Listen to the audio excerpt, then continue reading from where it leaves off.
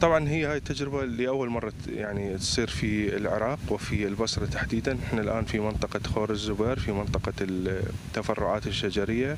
آه، هاي المنطقة آه، هي المنطقة الأفضل آه، لزراعة نبات المانجروف.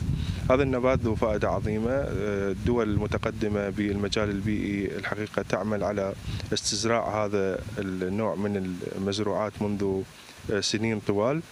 الآن الحمد لله استحصلنا الموافقات من الجهات الرسمية وفي مقدمتها وزارة البيئة لغرض الشروع بهذا المشروع الهام الذي سيكون موئلا للطيور وكذلك غذاء للأسماك والروبيان.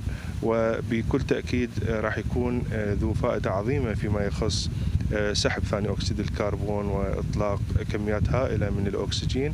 إن شاء الله العمل جاري بمعية مركز علوم البحار في محافظة البصرة وبرعاية إحدى الشركات المحلية شركة نخيل.